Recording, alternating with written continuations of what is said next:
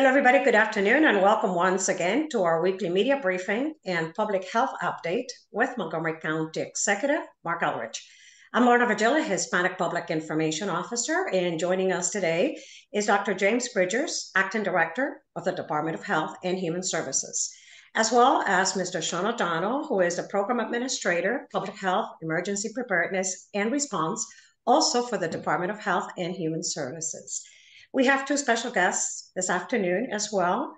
Council member Natalie Fanny Gonzalez, as well as Mr. Kevin Beverly, who is the board chair for the Montgomery County Economic Development Corporation. Both of them will be speaking about the recent economic development mission to Taiwan with the county executive. And with that, I toss it to you, Mr. County Executive. Good afternoon. Good afternoon, and uh, thank everybody for joining us today. Um, I'm very happy to be here on a personal note, but I think anybody with solar panels appreciates this. Uh, today is another day, one of several now, where I've put more money into the more money or more electrons into the grid than I've taken off the grid. So anybody with solar power knows the joys of actually watching the sun supply your energy. And many of you out there who are listening are actually eligible for this. Uh, it's been a busy and exciting week with the end of Maryland General Assembly and the start of the FY24 operating budget hearings and other news. Before we get to your questions and other matters, I think it's important to talk about our trip to Taiwan I returned from last week. Uh, it's the first time that as county executive I've been able to make this kind of trip uh, to cultivate new relationships for future businesses and academic opportunities. I was originally invited to attend the Smart Cities conference and speak on global warming, but I realized when I was going over there that it made sense to bring people from our economic development department and try to bring some small businesses along with us, along with people who are interested in smart cities. And so we took advantage of the trip uh, to bring some other people to actually work on economic development opportunities for the county. We had a lot of meetings with company leaders and with the leadership of two universities there. And on both sides, people were looking for opportunities to partner with innovative companies and research organizations or looking for opportunities to plant their flag in America, or in the case of five companies that we brought, uh, to find opportunities for them in Taiwan. We're very excited to find that people there actually knew Montgomery County. Uh, we met people who graduated from the University of Maryland. I actually met somebody who graduated from Montgomery College and the University of Maryland. And those folks had lived in the county. They'd worked often at NIH.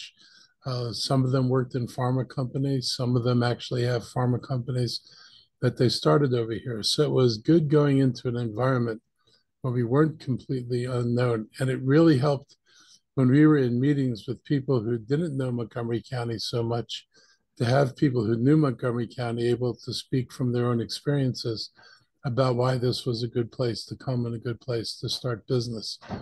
And so it was really it was really helpful to us. I also believe the trip was a good opportunity to get the word out about the University of Maryland Institute for Health Computing project with AI industry leaders. Uh, when they talk about America's biotech footprint, their initial thoughts tend to go to Silicon Valley or Boston. The institute coming into Bethesda is going to help change that perception. And having a research facility on the cutting edge of applying computational biology to medical research is going to help elevate our region into one of the premier places for life sciences in the world. And there was a great interest at the two universities, particularly the um, university tied to the hospital in Taipei, um, to do this kind of work is because some of this work is work they're already interested in for themselves. So I think everybody saw opportunities to explore collaborations. I wasn't alone in Taipei, as I said, and joining me there and here today are Councilmember Natali Fani-Gonzalez and Kevin Beverly from Montgomery County's Economic Development Corporation. I want to welcome them in now and let them share their own experiences about the trip, and then we'll open it up to questions. Thank you. Um, Thank you for the introduction. Uh, I would just add very quickly that it was such a great pleasure to uh, advocate and promote Montgomery County overseas. It was wonderful to see the, the amount of people interested in Maryland and specifically Montgomery County and learning uh, about the talent that we have and the quality of life that we have in Montgomery County and creating those relationships uh, and opportunities for them to come. I look forward to uh, reconnecting with many of the companies that we met and and even university universities that we also connected with uh, to visit Montgomery County. Um, so stay tuned. Kevin. Oh, thank you, Councilmember uh, Gonzalez. Um, I would uh, echo the comments that you've heard so far. I think the important part was, you know, understanding what the uh, a bit around that part of the, the world. It's one of the really high functioning democracies there. It's it's not a huge place by 24 million in population, but they have grown into such a juggernaut around chip and manufacturing. Not only are they doing that work, uh, some of their lessons learned are things I think as we bring up some of the work that we're trying to do, it's it was good to see lots of technologies that um, haven't had an opportunity to really explore deeply. It, it, presented that for us, and again, our small businesses, as the county executive mentioned, had an opportunity to meet with some organizations there, start some relationships that I think uh, uh, may make sense for them, and certainly opportunities for the county to explore going forward. an international strategy is an important strategy to have as the world just becomes smaller. And I think uh, I think tai- uh, Taiwan is certainly an interesting environment considering where it sits and uh, what we see as our opportunities here in the U.S. Well, thank you both for those uh, opening remarks and introductions. Uh, members of the media, we're going to open it up right now for questions regarding this economic development mission to Taiwan. Anybody has any questions, please uh, use the chat and let us know. We'll give you a second or two.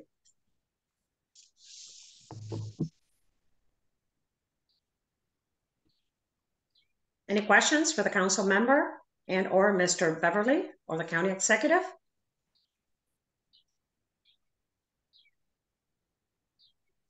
I don't see any questions, lady and gentlemen.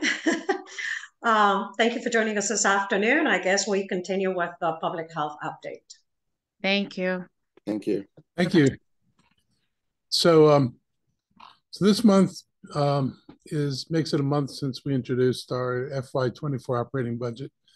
And this week, the council will hear from 150 residents across four public hearings about the proposal uh, you can see in the little graph above a dollar bill and get a sense of, you know, what part of the budget goes where. And so you can see pretty clearly that um, 14 cents goes to um, the public school system and another five cents goes to Montgomery College. Not 14 cents, what am I say? 51 cents goes to the public school system and another five cents goes to Montgomery College. So that's um, 56 cents out of the dollar that are going to education in the county. Uh, public safety itself gets 12 cents. Uh, debt service, the uh, the money we pay to build the schools and the transportation county, that gets seven cents. Health and Human Services get six cents, and then transportation and environment get four cents, and park planning get three cents. so schools are obviously the biggest driver. Excuse me, in our budget. This budget has a 7.7% increase over last year's budget. I'm recommending um, growing even as experts are forecasting a mild recession because I believe there's a strong need to retain the services that we added during the pandemic. Um, the state's projecting a very mild recession, a $400 million drop in statewide revenues, which is a relatively small amount compared to their total revenues. It's like 0.5% and people do not anticipate the recession will be longer deep. And a number of our indicators are likely to stay strong, and hopefully, we'll see a recovery in the housing market. If the Fed eventually drops interest rates back to a realistic level, we, we know that home buying and selling is going to resume again. And our budget was, you know, majorly impacted um, by the loss of transfer fees and recordation taxes because when the Fed um, sent interest rates soaring, they also sent um, housing sales and housing starts plummeting. So we have reason to believe that this is a short-lived um, recession created by the Fed, not by necessarily natural forces, and that we'll be more in line, and that uh, what we suffered in loss of revenues in the one area this year will not uh, become a trend. There's also significant investments in Montgomery College in this budget, as I said, and there's a 10%, 10 cent property tax increase. And all that money goes to public schools. We're doing this under provision of state law where you can um, you can target money for schools only. And with that money for schools only, you need a majority of the council to approve a tax increase over the baseline. Uh, all this, all that increase is accounted for by the salary requests and the other needed funding for this year. So we're not funding things that we had previously funded with this. Um, I think everybody has to remember that the Kirwan Commission required all state school systems to have a starting salary of $60,000 per year by 2027. Like I think $60,000 per year is perfectly reasonable. But in the context of Montgomery County, this means for the first time, whereas in the past, many jurisdictions paid far less than you pay in Montgomery County. And of course, the cost of living in those jurisdictions was lower, so people could, you know, still manage. But the day that everybody in the state starts at $60,000 and a young teacher gets to decide where am I going to live and still make the amount of money, a whole lot of other communities become more attractive. You know, but say the worst case example would be being able to live on the Eastern Shore near Ocean City and work 10 months a year, be next to the beach, and make the same $60,000 that you'd make in Montgomery County. If we're going to be competitive, it just doesn't mean matching other school systems, but we need salaries here that are more commensurate with the cost of living in Montgomery County. And that necessitates the steps that the school system made this year. And even with what they did this year, if the council passes this budget and funds it, teachers will still make less than the amount of money required for a moderately priced dwelling unit in Montgomery County. And when that program was created, it was supposed to be a program for teachers firefighters, and police officers. Largely, anybody starting in those professions here doesn't qualify for that program anymore. So it's, I think, an important thing for us to do. You know, for decades, we had the most qualified and best trained teachers choosing MCPS because we paid better and we offered better benefits and we had a strong system. If we're not competitive in this regard, anymore, then we're going to be challenged to attract the best in the business to teach in our system. And with the shortage of teachers in general, how are we going to be able to attract enough teachers to come here? Our school system is still dealing with a shortage of staff. All the way, you know, this at this point in the year, they've still not been able to fill every vacancy. This problem is at the core of this discussion about the need to invest in schools. And it needs to be repeated that the revenue in this property tax is only going to be used on education. And these expenditures fund the budget that was that Dr. McKnight requested and that the school board, Board of Education approved. As a former teacher myself, I can assure you that good teachers make great schools who can create well-educated students. But by the same token, staffing shortages undermine teaching and learning. And if we continue with staffing shortages and continue not being able to achieve the class sizes that we need, that'll just be another drag on student learning that's already compounded by the problems that we know we're dealing with coming out of COVID. When it comes to per pupil spending, we're only spending 80% of what we spent on kids 12 years ago for anybody who ever says, why isn't the system like it used to be? I guess the proper answer would be, why aren't we funding it like we used to fund it? We used to fund it like we thought it was going to be and would be the best of all systems. Uh, we stopped doing that a while ago and we never recovered from that. And what was supposed to be a short term reaction to the recession became a long term excuse to reduce funding for schools and not restore it to the levels that had been before. And I think in hindsight, that is definitely not the decision we should have made. We should have adjusted for the years that were bad, but we should have brought the schools back up to a decent level of funding before reaching this point. You shouldn't expect to get the same result when you spend less money, uh, but that's what I think we've done. And I think some people um, don't even realize that we've reduced per pupil spending. When I talk to people about the school budget, everybody assumes they're just getting uh, more and more money and you know the cost is going up. The cost may be going up in real dollars, but when you compare it to the real dollars we spent a dozen years ago, we're not making it. And reinvesting in our school system is the best way to educate kids and keep our communities strong and our home values healthy. I was particularly bothered by a um, an ad I saw from the realtors saying that uh, County Executive Elrich had gone on a spending spree.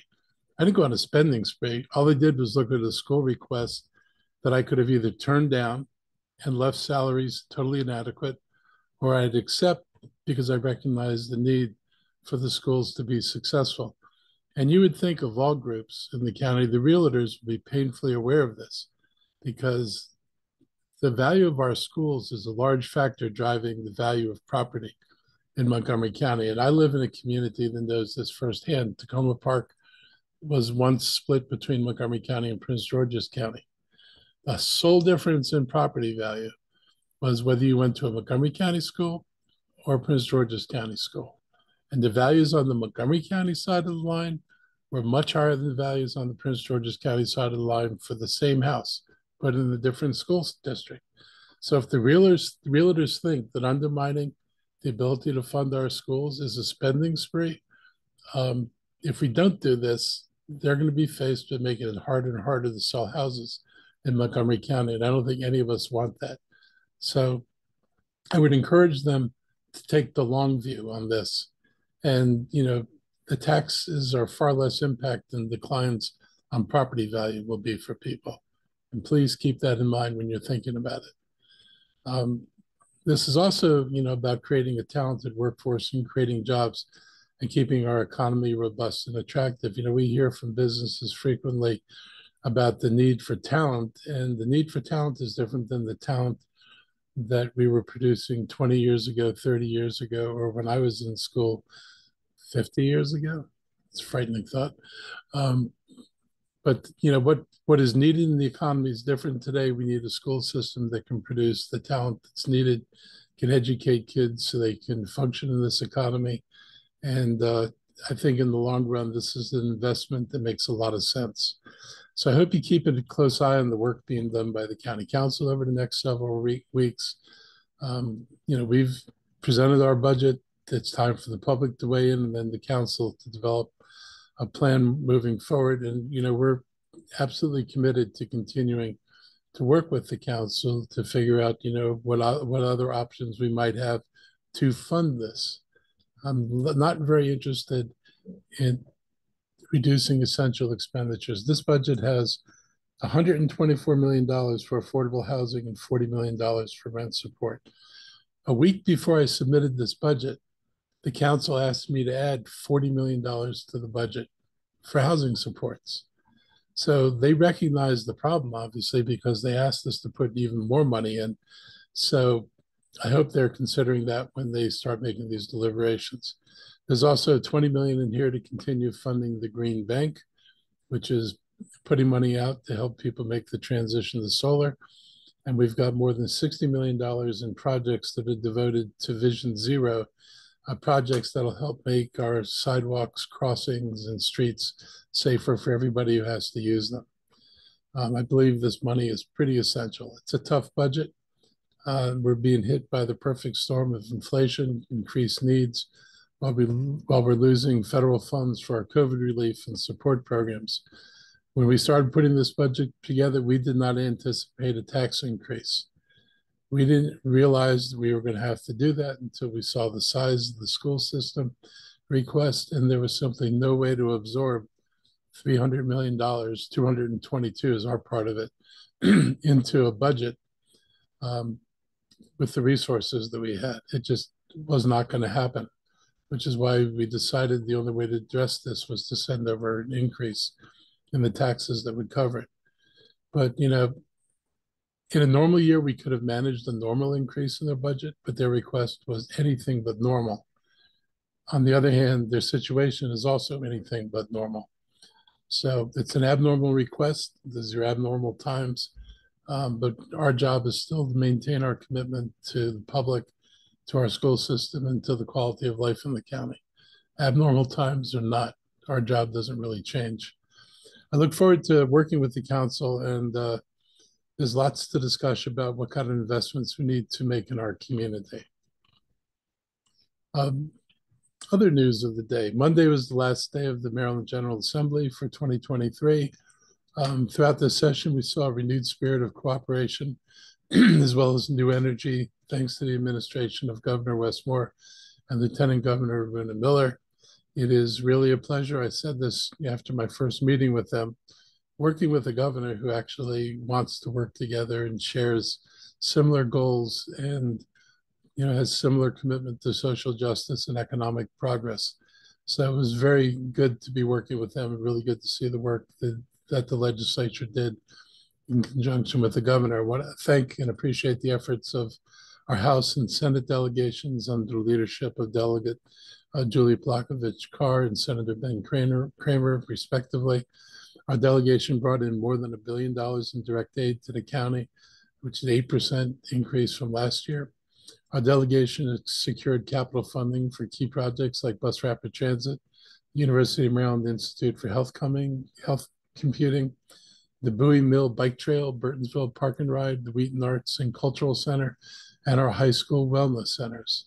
I also appreciate the passage of key legislation that will invest in our students, combat climate change, protect abortion rights, reduce gun violence, and legalize cannabis, sales throughout the state. Uh, we're very grateful for the hard work that led to these legislative accomplishments. One of the wins we had in the Annapolis this session that I was most pleased with was securing one-time funding in next year's budget for BRT and then gaining bonding authority for our bus rapid transit plans.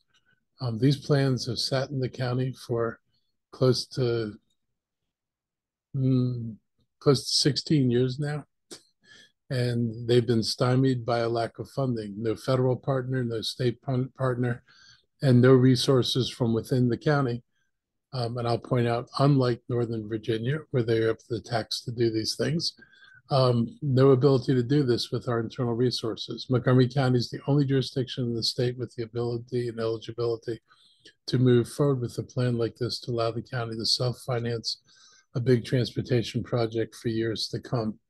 And we've been developing plans to expand our flash service along US 29 from Burtonsville to Silver Spring along New Hampshire Avenue in the 650 corridor on Veirs Mill Road to connect the uh, northern end of the Eastern Red Line to Rockville and up and down Rockville Pike from Bethesda to Clarksburg.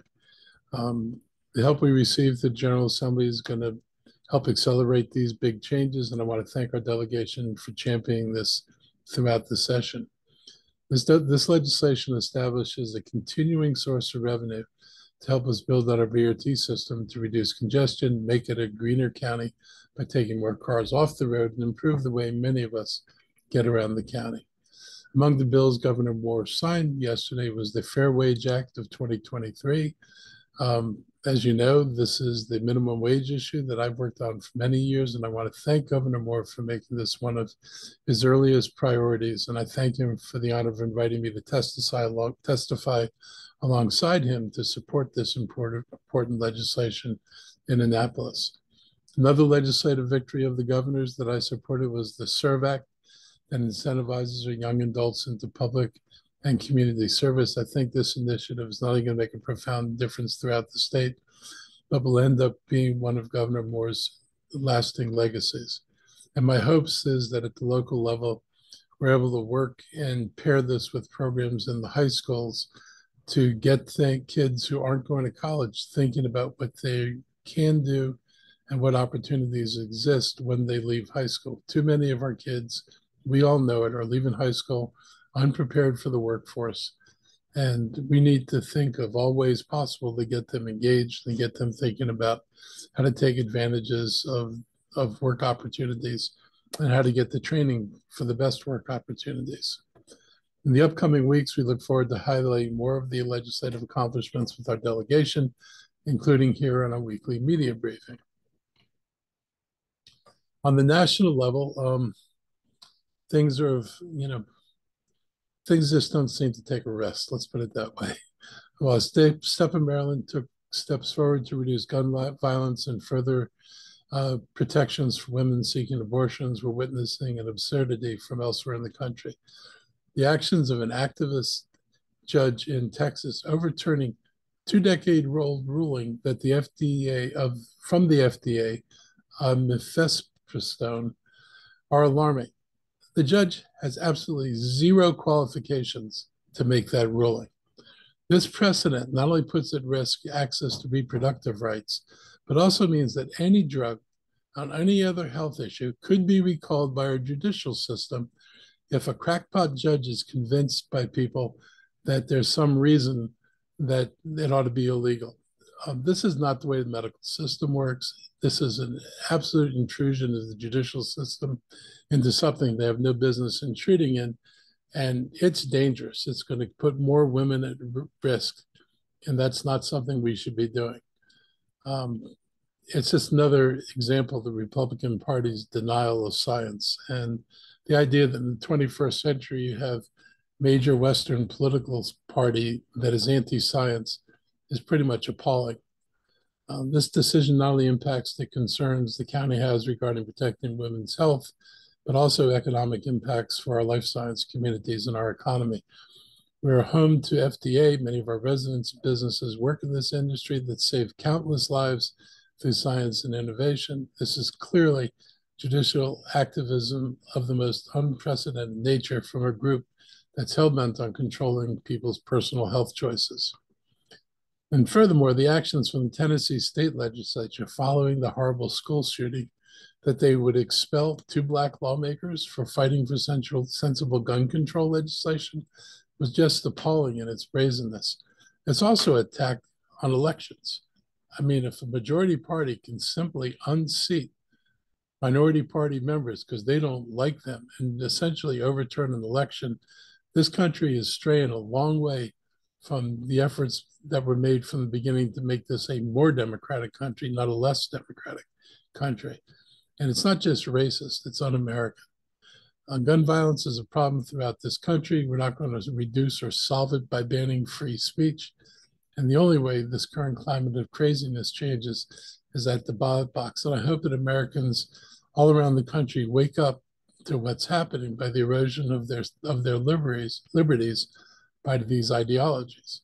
Um, it is stunning that people don't care about gun violence and now want to have a judge make decisions on medicine that the judge is unqualified to make. Um, so hopefully all of us can tell our friends and acquaintances in other states how important it is that everybody work to delivering a politics that's uh, more collegial, that is actually more respectful of science and more respectful of democracy. And I do believe there are people who can be Republicans, who can be scientists, and who can be respectful of democracy. There have been plenty in this county. Some great political leaders in this county exemplified those values. And there's no reason we should be captive of this minority group of people with very strange views on society. Meanwhile, in the world of COVID, as we prepare to end the emergency phase of the pandemic, we're seeing more state led COVID 19 testing centers closing. This week brought the closure of testing centers in Annapolis and Bowie. Here in Montgomery County, we're continuing to offer services like testing, vaccines, and booster appointments. One big difference between now and then is uh, how much support we'll get for those services from the state and federal governments. The operative word here is less and in some cases, none. The state will no longer be tracking cases to the extent they were before COVID on a county by county breakdown of the data that's been shared with the public regularly. The federal government will no longer be paying for the services it did for the last three years. All this means that we're going to have to rely even more on our public health experts to help us determine the threat level in our community. For those at home, we ask you to stay up to date on your vaccines and boosters keep the elderly and immunocompromised in mind because they're still the most vulnerable to the new strains of the virus. And finally, remain vigilant. Um, our community threat level remains low, and it has been in several weeks. There's no denying that it's a good thing, but we've learned a lot in the lessons from COVID, and there's no reason to jeopardize our public uh, safety again needed, needlessly. You know, just as an example, there's a variant that ticked up in India in the last week, and uh, the variant seems to be, you know, more attracted to children and seems to be more problematic as a virus. Uh, it still hasn't reached the proportions that had worried everybody previously, but we and everybody else in the world are keeping an eye on it, hoping that it does not get out of hand and uh, that it's not as serious as some people fear. And with that, let me bring you Sean O'Donnell for the public health report before we take your questions. Thank you, Mr. County Executive.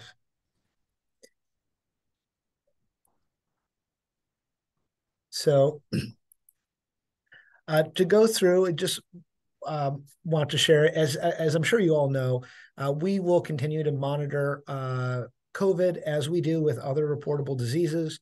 Um, and even though we we now have a prolonged period of lower transmissions um, globally as well as locally, uh, and we will will let our um, public know and, and and through the media know when there are changes, when when their threat level goes up, when there are variants of concern, or when there are new resources such as new um, types of vaccine and and or th- therapeutics.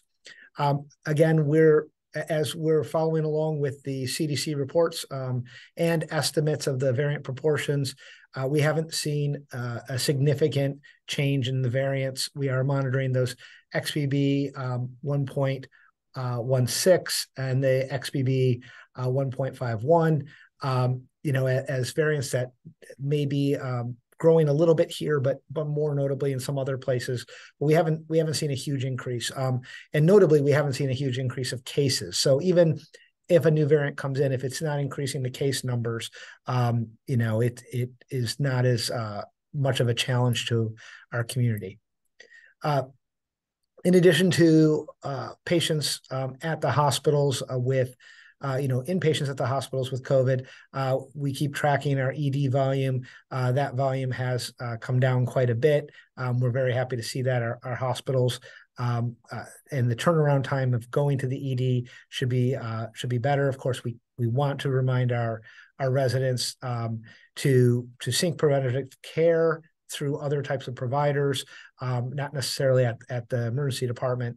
Um, but again, we're not being strained by uh, infectious disease at this time. Um, we do monitor also how uh, COVID is affecting different populations within our county. Uh, just sharing, um, this is something that we don't share every week, but we do we do get the report on it. And as you can see, we look at who are the cases now compared to two months ago?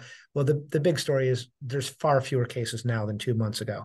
Um, we saw a, a, slight uptick in the distribution with uh, slightly more of our seniors being cases, but this is a very, very small number um, relative to uh, where we were in, in the past. So while we're monitoring it, it may just be that um, our, our, younger populations are are less and less having having fewer and fewer severe illnesses are less likely uh, to have a um, a PCR test that would show up here.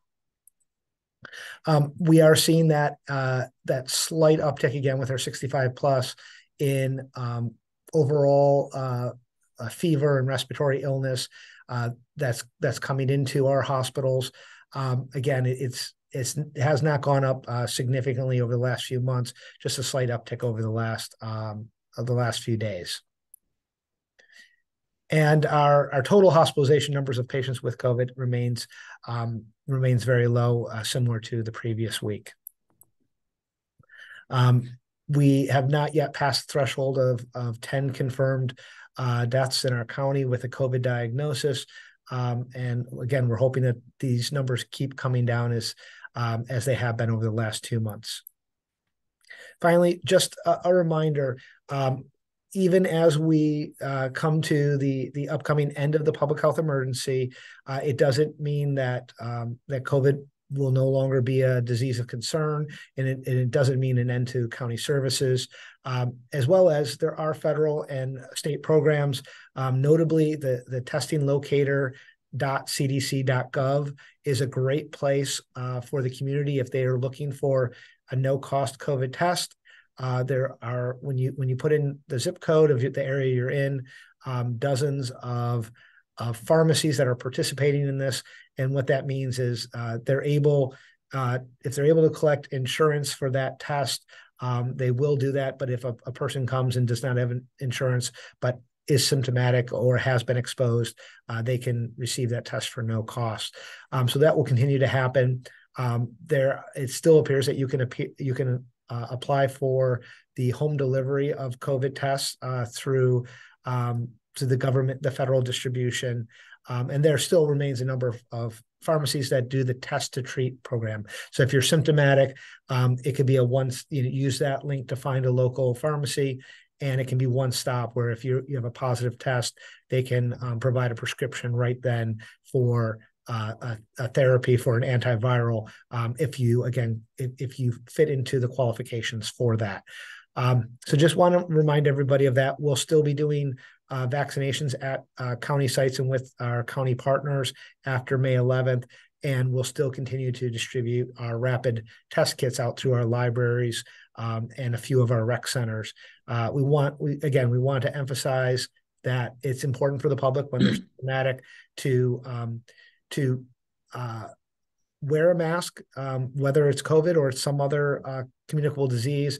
We don't want to spread that throughout our community, um, and and do a test to to try to rule out COVID, um, because isolation is still a recommendation if you have a positive COVID test. Um, with that, I'd like to see if uh, Dr. Bridgers has any additional comments he'd like to share. Good afternoon, and thank you, Mr. O'Donnell. I have no additional comments and will uh, support our county executive in the round of questions and answers. All right, thank you, gentlemen. Uh, members of the media, now we're going to open it up for the Q&A portion of this presentation. Please use the chat. I don't see any questions yet, but uh, we'll give it uh, a minute.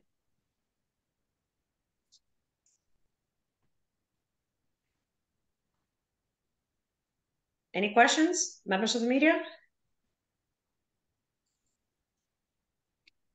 No questions? Lorna, I'll, I'll, yes. I'll, just I'll just add one other thing.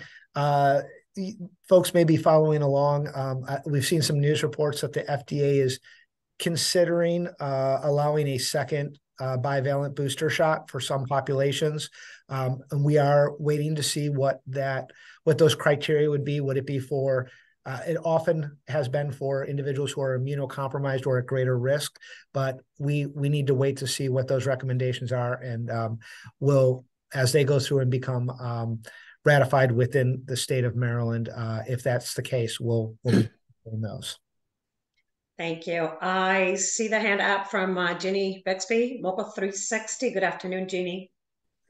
Um, good afternoon. I have two questions for Mr. Elrich. Um, one is about Craig Rice um, and withdrawing from the position yesterday.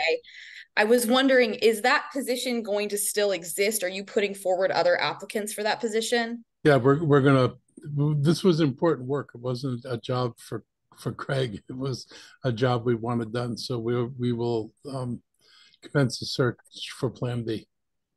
Okay, great. And did Craig share anything with you about that you're able to share about his withdrawal? Uh, he, you saw his note, and you know I respect, you know, his view of that. It was, you know, it was not an easy process. Let's just say that. All right. And then my other question is about the budget. You know, yesterday at the council meeting, there was a lot of discussion about how the proposed budget, it looks like there would be a $145 million deficit for next year. And then there's also this $207 million gap with the CIP.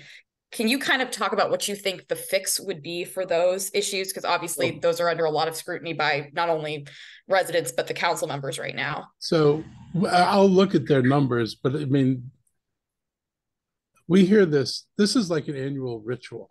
It was an annual ritual when I was on the council. When I was on the Takoma Park Council, it was an annual ritual of staff saying that the world's going to collapse and fall in. This is the same staff basically that said during COVID that because we didn't, you know, get rid of all these people, we were going to have a massive $500 million deficit next year. None of that materialized. Instead, instead of a massive deficit and hole in the ground, we achieved uh, 10% reserves for the first time ever. So I I feel pretty good, and I also feel that some of the indicators, while there's a mild recession indicator, uh, the state's still projecting increases. It's a smaller increase, but still increases. And we were very healthy on income taxes and property taxes. We expect that to continue um, with some ding for capital gains, depending how long the downturn in the market laps. But the other thing is we expect that as the housing markets come back, that we'll see recordation taxes and uh, um, and transfer taxes recover to previous levels. So at least on the operating side, I feel pretty good about you know what we can do next year. Again, I've got other suggestions, uh, which I've discussed with the council. I've not discussed them publicly yet for ways to deal with some of this, but um, I think you know they have the ability to manage this short of getting rid of services. My my commitment is to try to maintain the services you know, throughout this whole thing, and even as COVID waned, you know, the council was very adamant about making sure people got food and got rent support. Those things are in the budget. If you want a budget that's a non-COVID budget, you take all those things out. But you can take them out, and the cost is going to be some people are going to go hungry. That's an absolute fact, and more people lose their homes. Also, an absolute fact. So, these budget decisions have consequences. Um, and I mean, since we're talking about it, I'll remind you that A, this, the county is spending less per pupil than it spent before, which is, is not a good idea. Uh, we've lagged per pupil spending behind places like Howard County and Baltimore County. Howard County's tax rate is $1.25. Virginia's tax rates are higher than ours. You've got a DC study, study, which I know we've provided everybody, that compares Montgomery County to the rest of the region has a second lowest in residential taxes. And oh, by the way, the lowest on commercial taxes. And it doesn't change if you include the energy tax. Um, so I'm just saying this, you know, it is not as bad. And the tax increase doesn't make us the highest tax jurisdiction in the state. We go from being the 11th lowest to the, or was it 11th lowest to the sixth lowest or the sixth highest. So we go from the middle of the pack to the, at the edge of the top quarter of the pack. It does not make Montgomery County the highest tax region, and Frederick's taxes are higher than ours now, along with um, Howard counties. So if people are saying they're going to go to Frederick or Howard, you wouldn't leave here to escape to escape taxes and go there, because they're pretty much like ours or more. Thank you. Thank you, uh, Ginny. Any more questions from uh, members of the media?